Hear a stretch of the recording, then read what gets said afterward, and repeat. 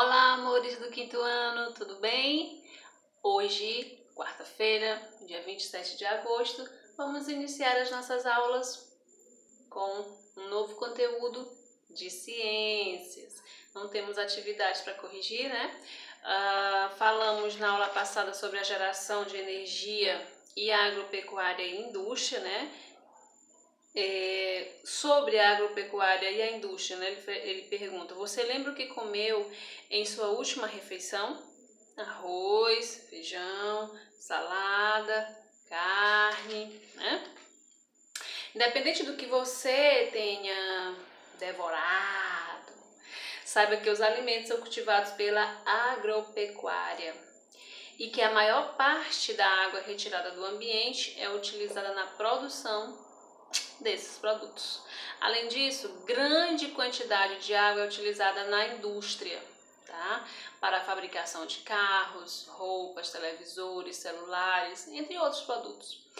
Tudo que usamos, vestimos e comemos tem aí, né, o uso da água durante o seu processo de produção. A agricultura é uma atividade que demanda o uso da água para a cultura é, dos alimentos e a manutenção das lavouras em diferentes regiões do mundo. Aproximadamente 70% de toda a água doce disponível no mundo é utilizada na irrigação de lavouras.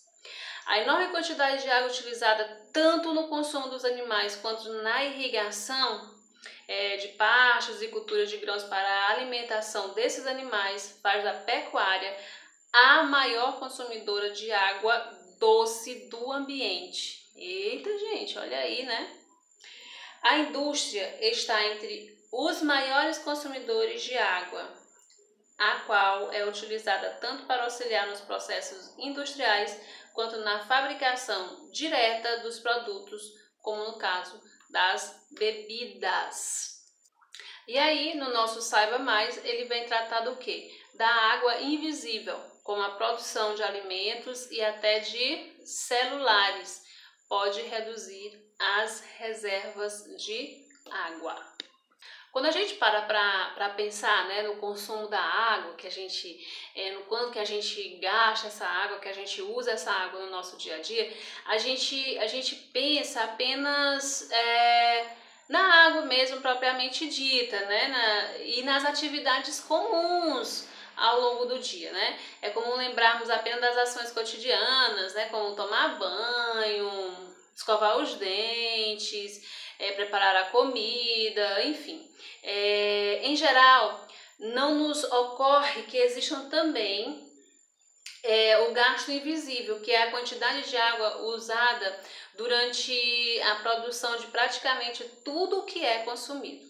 É fundamental ter consciência sobre esse consumo invisível de água, que é tão ou até menos, é, ou até mesmo uh, mais importante quanto os gestos de consumo da água que a gente vê. Segundo dados da ONU, cada pessoa consome diariamente de 2 a 5 mil litros de água invisível contida nos alimentos. Para chegar a esse número, os pesquisadores analisam toda a cadeia de produção de um bem de consumo, como com cálculos, é, esses cálculos eles são baseados em padrões que variam conforme os processos e a região de cada produtor.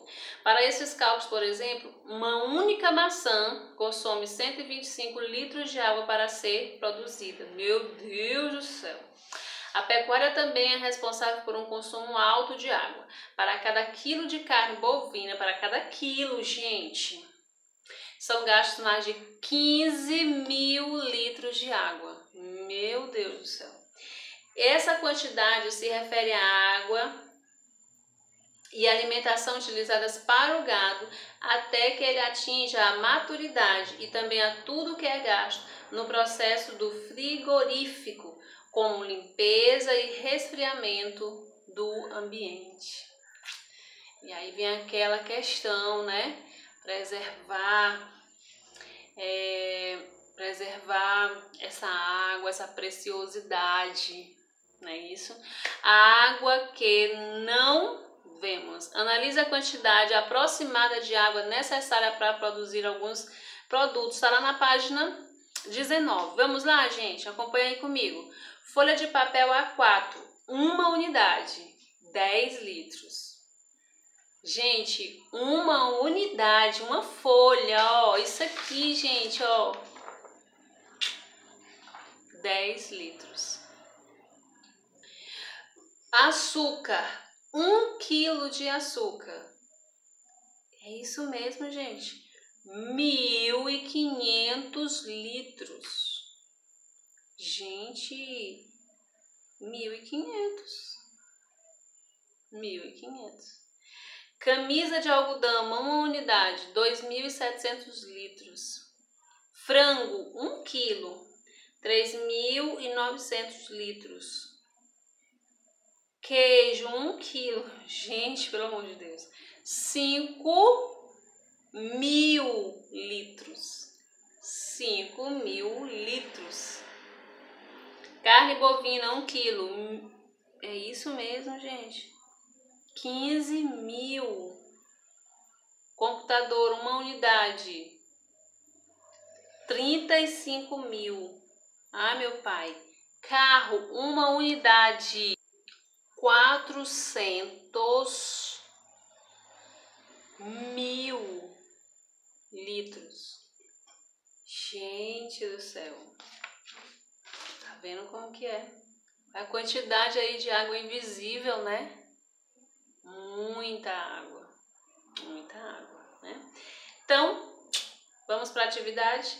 Vamos para atividade. Página 20, temos aí três questões bem interessante para ser analisado, para ser respondida. Então, como atividade para casa, fica aí a página 20 e a nossa consciência sobre como eu estou preservando essa água. É isso? Como eu estou cuidando desse recurso natural, né? Que só nós temos é, esse esse controle, né? Que só nós podemos aí controlar é, o uso, né, fazer uso apenas o necessário, usar essa, usar essa água de maneira, de forma consciente, tá bom? Fica a dica aí para vocês. Beijo grande e até amanhã.